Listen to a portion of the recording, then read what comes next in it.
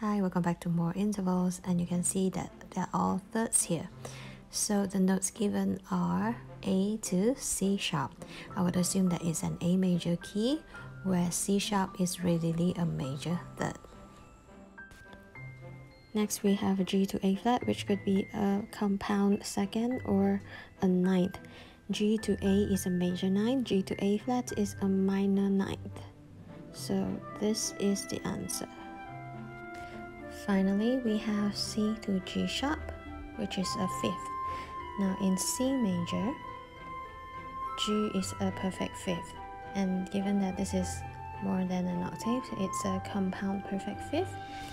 When you raise G to G sharp, then it will be a compound augmented fifth. Or if you add 7 to this, it will be an augmented 12.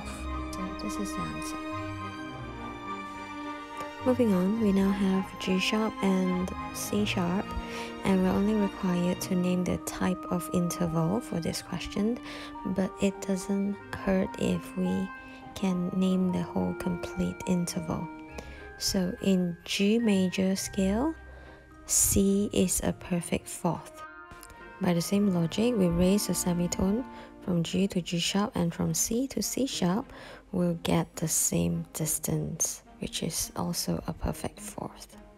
So the answer would be perfect. The next question is a compound interval, but we still solve it with the same method nevertheless. In B major, D has a sharp. So B to D sharp, it's a major third.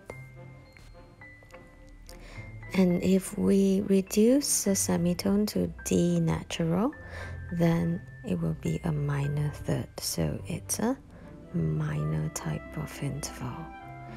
Now, lastly, we have A to G sharp.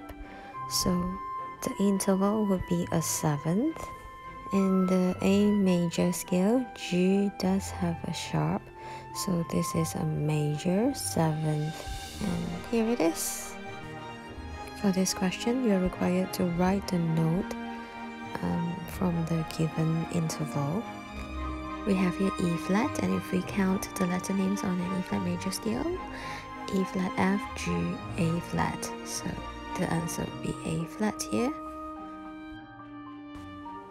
Next is um, an augmented seventh from B flat. So in a B flat major scale, A is a major seventh if we are to increase the distance from a major to an augmented, then we'll have to raise A to a semitone higher, which is A sharp. Now we have a compound major sixth from F. If we count the letter name F, G, A, B flat, C, D, so major 6 would be D, and remember it's a compound interval, so write the higher octave of your D.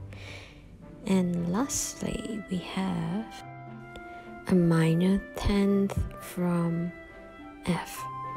So 10 minus 7 is a third, so a third from F major would be A and that's a major third. So if we are to reduce a step, then A goes down to A flat.